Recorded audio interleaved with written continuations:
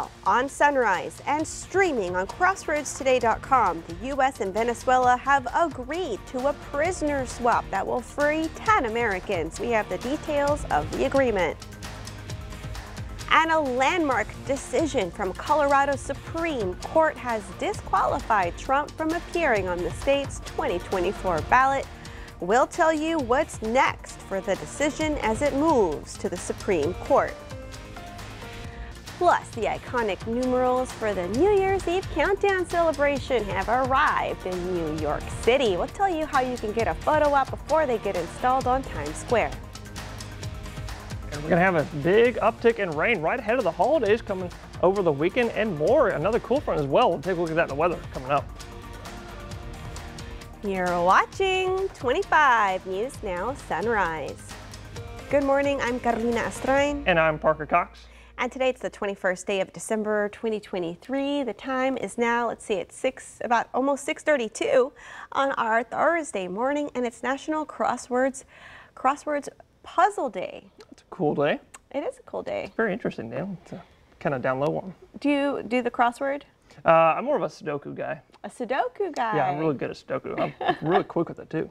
I like to do the word search. Oh, word search is really Word cool search. too. I always find those uh, when I was like in a little lobby and be sitting there for hours just trying to find words. So, Well, Parker, what are you finding in our forecast today? In our forecast today, I'm finding perhaps some rain. Carolina might want to bring your umbrellas today because we might see a couple isolated showers out there this afternoon. We'll take a look at that in uh, just a few moments. Because if you're waking up with us right now, if you're just tuning in, look at a live look at Eastern Victoria where it looks like I don't know what that is. I don't know if that's a raindrop on the camera or not. Because we did get a couple showers there about an hour or so ago, probably around a little bit around our area, but nothing crazy. Just a few weak showers out there. Right now, we'll take a look at that radar in just a second. 61 out there starting the day here in the crossroads, but with a dew point of 59, just two degrees off. Got a humidity of 93%, so a little humid out there, but we're only expecting a couple, maybe a little bit of dew kind of forming on your windshield. Not really expecting any fog out there this morning as you really start seeing fog at about 95% or higher. As we take a look at the relative humidities for the rest of their area here, er, of our area here, Goliad might be, Goliad and Cuero as well. Y'all might see maybe some really thin fog starting to form out there. Wharton as well in Bay City, y'all are above that 95% mark. So maybe if y'all do see any fog, it'll be really thin and it'll be out of our area by sunrise later in just probably about an hour or so. But as so take a look at the radar here, like I said, pretty quiet out there. We're expecting, like I said, those showers to become more widespread going into the afternoon hours today and tonight as well. And take a look at that and more in just a few more moments. Back to you, Carolina. Thank you, Parker. The White House confirms the U.S. has reached an agreement with Venezuela for a prisoner swap, which includes 10 Americans. A statement from President Biden confirms that 10 Americans detained in Venezuela are coming home. That includes six wrongfully detained Americans, 20 political prisoners, and notably a fugitive from the United States known as Fat Leonard. In return, the U.S. is releasing Colombian businessman Alex Saab, a President Maduro ally who's accused of bribery and money laundering $350 million. We'll go to Washington for the latest on the deal later on Sunrise. Colorado's Supreme Court has disqualified former President Trump from its 2024 primary ballot. On Tuesday, the court declared Trump ineligible for the White House under the U.S. Constitution's insurrection clause.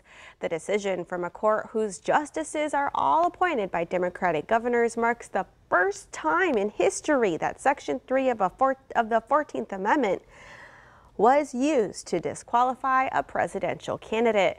The court's decision overturned a previous ruling from a district court judge. The court stayed its decision until January 4th or until the U.S. Supreme Court rules on the case. And now to concerns about holiday travel today with just four days before Christmas as millions prepare to travel by air. A massive storm is bearing down on the west coast, which could have ripple effects across the country. Authorities have already issued the first evacuation warnings.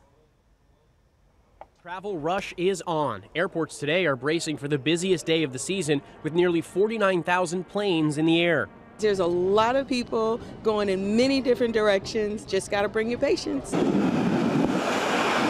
Biggest problem the weather. A slow moving storm could dump 10 inches of rain in parts of Southern California, potentially triggering mudslides and air travel delays that could impact the rest of the country.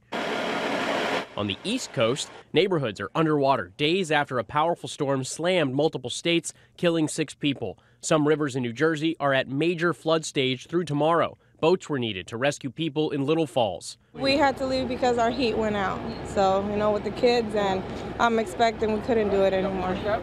In Maine, several people rescued after a river overflowed its banks. It could be days before power is fully restored. Bad weather last year caused a staffing meltdown at Southwest Airlines. Just this week, the airline was hit with a record fine. It will now be required to give passengers a $75 voucher for any significant delays caused by the airline. You need to take care of your passengers, and if you don't, there will be consequences. We will hold you accountable. Security also a concern, with the TSA seizing a record number of guns. Agents at Reagan National outside Washington stopped a man with this loaded handgun. And at New York's LaGuardia Airport, 17 bullets were found hidden inside a diaper in a carry on. Fines for firearm violations were recently increased and can now top $14,000 per violation. Andrew Dymburt, ABC News, New York. Back in California, some evacuation warnings were already issued in Ventura County last night due to flood concerns. The 2024 numbers to ring in the new year arrived in Times Square yesterday. Standing at 7 feet tall, the numbers will officially light up the night sky. When the iconic Times Square ball drops at midnight, the numbers went on a coast-to-coast -coast tour that started in Los Angeles and made stops in Arizona and Philadelphia before finally arriving on Broadway Plaza. They will stay on the plaza until 11 a.m. Friday so that people can take photos with them after that. The numbers will be placed high atop Times Square, where they will await the big New Year's Eve countdown. And that leads us to your viewer poll. You can scan the QR code right there on your screen to take part. We ask you, do you plan to stay up until midnight on New Year's Eve? Okay, let's take a look. 27, oh, not 26% of you say yes, you're staying up late on that. I think it's going into Monday morning. Yeah. And then 74% of you say no, you do not. You probably, maybe have work the next day. We want to keep hearing from y'all. Come to crossroadstoday.com slash vote. And here are some of the top headlines you can read in the Port Lavaca Wave. The Port Lavaca City Council updated the regulations of the Nautical Landing Marina in their December 11th meeting. And high school students from Calhoun, Palacios, and Edna competed in a welding competition. Plus, the Port Lavaca Girl Scouts troop donated to the city's food pantry. You can read these stories and more at theportlavacawave.com. And remember to subscribe to our YouTube channel, Crossroads Today. Hit the like button and click the notification bell. The time is now 6.38 on our Thursday morning. Here's a look at what's coming up on 25 News Now Sunrise. Community members had a chance to gather over a free meal yesterday. 10 Americans are now freed in a prisoner exchange with Venezuela. I'm ABC's Justin Finch with more on the deal and what the U.S. gave to Venezuela. And coming up after the break, we'll take a look at your fishing forecast, that outage report as well. And coming up later on Sunrise, we'll take a look at your travel forecast before the holidays. Well, good morning, Crossroads. If you're all waking up with us this morning, if you're just tuning in, look at a live look at Cuero, where it's a little cloudy out there and a little chilly, more like a mild chilly out there this morning, starting out about 63 this morning. And I put Gonzales up there because that's the closest town to Cuero. That is Victoria. But with a dew point of 59, just a few degrees off of that temperature, you got an 89% humidity. So it's a little humid out there. So you might see a little bit of dew on your windshields, but we're not expecting any fog out there, especially at least not in the Cuero area because you start seeing fog about 95% higher. But you might see some dew on your windshield. So you might want to use those wipers to uh, drive out there this morning. But could be a nice day overall, and, you know, especially along the coast where they're not going to see as many showers out there. Give, make it a good day to go fishing today. So take a look at your fishing forecast. Got, high tides are going to be at 12:16 p.m. this afternoon. Another one's going to be at 8:30 p.m. this evening. Low tides we just had one a couple hours ago, with another at 4:47 p.m. this afternoon, just before sunset, uh, a couple hours before sunset. But winds will be about 10 knots out in the east, making your base and seas pretty smooth at only about two to three feet, with a water temperature of 63. And with that water temperature and the southerly flow, going to keep us in the 70s for the next few days. But pollen today, low pollen count for the trees and grass and ragweed are none, but it to stick around in the low 70s for the rest of this weekend weekend with some showers on the way. And we'll take a look at that more in just a few more moments. Back to you, Carolina. Thank you, Parker. A high-stakes prisoner swap is bringing 10 Americans back home to the U.S. after being held prisoner in Venezuela. The White House agreed to the exchange, which includes the return of a close ally of Venezuela's president and for the South American nation to hand over a wanted fugitive to the U.S. This morning, a first look at six wrongfully detained Americans en route to a Texas Army base after being freed in a prisoner exchange deal with Venezuela. The White House National Security Advisor posting this image online and welcoming the men home. California businessman Savoi Wright have been held in Venezuela since October. So much gratitude for, for the moment, for the United States of America, for, for all of you, and, and for the, the opportunity to come home. Los Angeles attorney Eyvin Hernandez heading home after being detained in Venezuela since March of 2022, accused of being a spy. I want to thank President Biden because I know he made a difficult decision that will uh, have a lot of pressure on him on Capitol Hill, but he got us home and we're with our families. Senate Republican Marco Rubio slamming the exchange as a disgraceful decision. The Biden administration brokering the deal with Venezuela. The White House agreeing to grant clemency to Alex Saab, who faced money laundering charges. President Nicolas Maduro embracing his close ally at the presidential palace. In exchange for Saab, Venezuela sent back 10 Americans, plus fugitive Malaysian defense contractor Leonard Glenn Francis.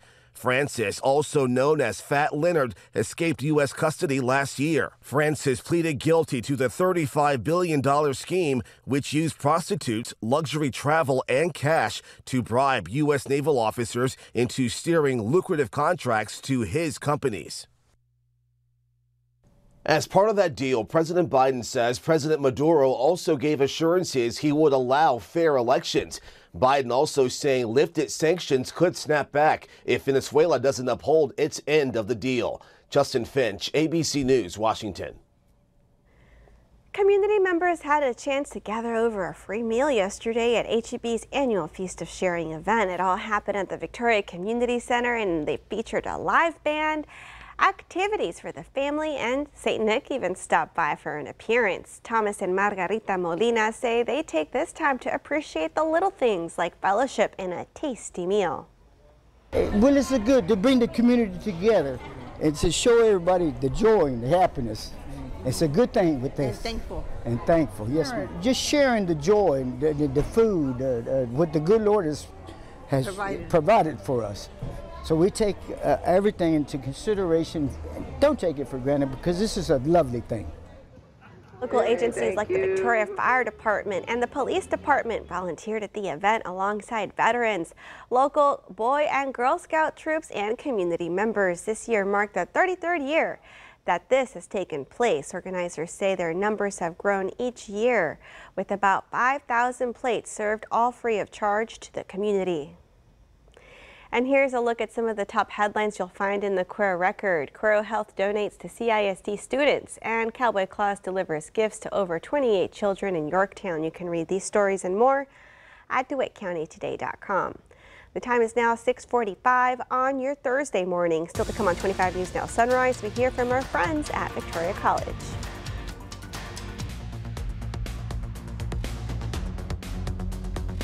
Well, good morning, Crossroads. I guess a couple of us saw some showers yesterday. Let's take a look at your rainfall totals from yesterday. Saw about almost almost a half inch around Port Lavaca yesterday, just southwest of Port Lavaca, actually, where I took that reading. But uh, about a quarter inch up there in Wharton and around Bay City as well. But for the rest of us, saw about a tenth of an inch yesterday. Now, if we didn't see any rain yesterday and you did want to see rain, Good news is we're going to probably see some more today and tomorrow and tomorrow after that and the day after that as well. Take a look at that. Uh, take a look at the live radar right now. Not really too much going out there right now. We just had a couple showers that just dissipated up just north of us here at the crossroads that were going into Cuero, Yorktown, and Hallettsville. But it looks like there's a dissipated. But if uh, don't worry, don't fret not fret not if you think uh, we're not going to get any showers because take a look at your future tracker here. Think of those showers going to become a little bit wide, widespread going into around noontime and especially into the afternoon hours. You can see here, lots of things kind of blowing up here, especially on the west side and really the western half of our uh, of our kind of area here. But going into tonight into this evening, I'm thinking we might see some light showers overnight as well, with maybe some drizzle as well. Don't really see drizzle too often. It's kind of cool little feature with the rain, but Tomorrow, though, even better shot at seeing some showers as we're going to see that system approaching out of the Rockies right now. As you can see, this is that weak low just came out of the Rockies, going to slowly, slowly push east-northeast towards the towards the Great Lakes, and it's going to dissipate up there. But that's going to make way for our next system. This is going to be the one that's coming out of the Pacific. It's actually an upper-level low, dumping a lot of rain over there in California right now as we speak. Actually, up to 10 inches was what I saw was the last reading. But we're going to get a warm front. It's going to warm us, us, us up nicely on Sunday ahead of that showers and cool front ahead of your Christmas and uh, Kwanzaa Day holidays. And we'll take a look at that in just a few more moments. But Carolina, I hear you have a guest, so let's take a look at that. I'm now joined by Bobby Gubriel. He's the Director of Counseling, Advising, and Support Services at Victoria College. Welcome, Bobby. Good morning. Thanks for having us. Welcome, and we want to learn more about this Super Saturday coming up. Victoria College has that set for January 6th. That's right, yeah. Victoria College is excited to host our January 6th Super Saturday event. Uh, we do this every semester because uh, we know our students not always can come between the hours of 8 to 5, Monday through Friday. So we try to have an event every semester for Saturdays so that way their non-traditional students can come and visit with us and be able to get registered. We have our entire building open from admissions, financial aid, all the way to registration. If the students need to get tested uh, for our admissions testing, we can also do that too. We start that a little bit earlier though at 8.30 in our testing center. But then after that, they can come over to the, to the Welcome Center and get registered for classes. What else do they need to have with them? Let's say maybe you haven't been going to school for a couple of years. What are the basic things that you need? Really, they don't need to bring anything with them. We'll have everything ready. We'll, the applications are all online. If they have ID, if they have their social security card with them, they might need that, mm -hmm. but we don't need to have that with us on the first day. Okay. Mm -hmm. So it, your ID and then maybe your social, but y'all can take care of the rest from there. that's correct. Yeah, kind we'll of find everything. out if there's financial aid opportunities. That's right. That's part of the that's part of the day as well. So we'll have them sit down with the financial aid counselor, be able to do the FAFSA application, see if we can't get them some financial aid assistance to be able to pay for their school. That's such a big help. There's so many families that struggle to fill out that FAFSA. It is. It's one of the toughest things for our students that they say, but we want to make sure that that's as easy as possible. So we'll have our counselors available for them. Beyond that, too, we'll also have scholarship opportunities for them. So we oh, want wow. to make sure that we're looking for all the different ways that we can help pay for this for their ventures. And it's such a great time. It's at the beginning of a new year. Perhaps our viewers have some educational resolutions in mind because it doesn't hurt to have an associate's. That's right. No, we have several different pathways. Not only associates, we have one-year certificates. We even have short-term training that we want to showcase at this event. So we want to make sure that every student, whether they have those aspirations now or later, that they have the opportunity to come off Monday through Friday on those Saturdays whenever they maybe have a day off or so. And it's like never too late. That's right. It's never too late. We hope to be here. For, uh, we hope to be able to support them on those days anytime. Well, let's go ahead and remind our viewers about the event and what time it starts. It starts at 10 a.m., but you may want to get there early if you're thinking about getting registered for the first time that morning. And it goes until 2 p.m. That's correct. And it's all going to take place at the Student Services Building on the VC campus there on Red River Street. That's correct. Thank you. Well, I'm excited to hear what your enrollment numbers turn out to be this spring semester. And it's such a great thing that y'all are doing for the community with these Super Saturdays. Well, thank you. Yeah, we are too. We're very excited to see our spring semester get started. We're excited about the numbers, the new classes that we have. So yeah, thank you for having us. My pleasure. All right. Well, thank you for joining us. Mm -hmm. And don't go anywhere. Coming up, news to know before you go.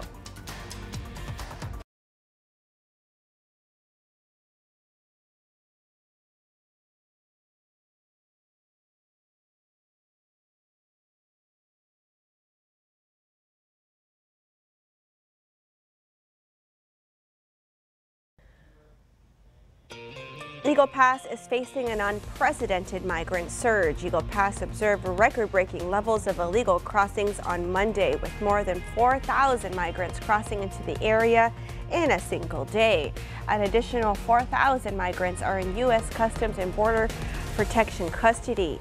Border Patrol agents have described it as the worst migrant surge they've ever experienced in Eagle Pass. Eagle Pass was experiencing an average of more than 2,000 illegal crossings per day before that number doubled on Monday. Customs Border Patrol checkpoints across the state were forced to close and divert manpower to the area. The Transactional Records Access Clearinghouse says as of November, the backlog for migrant immigration hearings topped 3 million pending cases. A federal judge has blocked a California law that would restrict the concealed carry of a gun in certain sensitive places across the state. Those sensitive places include parks, sporting venues, and educational institutions. In a Wednesday ruling, the U.S. District Judge said the provisions of the bill that were being challenged by gun rights groups unconstitutionally deprives concealed carry holders from their rights to carry a handgun. Plaintiffs in the challenge include the California Rifle and Pistol Association, and the gun owners of America. In a statement, California Governor Gavin Newsom said the complaint and ruling defies common sense. In the meantime, the state's attorney general plans to appeal the federal judge's decision. U.S. Defense Secretary Lloyd Austin is back in D.C. after a multi-day trip to the Middle East.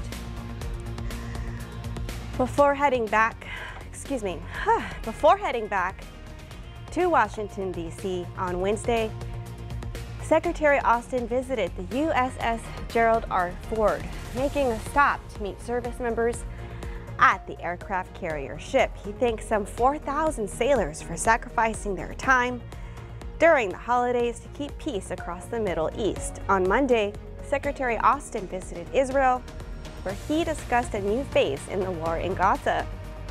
Whew. He also traveled to Qatar on Tuesday and later made a stop in Bahrain. Texas flew out over 120 immigrants from El Paso to Chicago Tuesday as part of the governor's policy of transporting migrants to Democratic-led cities. The flight comes after officials reportedly cracked down on migrant buses coming from Texas. Read the story by the Texas Tribune on our website, crossroadstoday.com.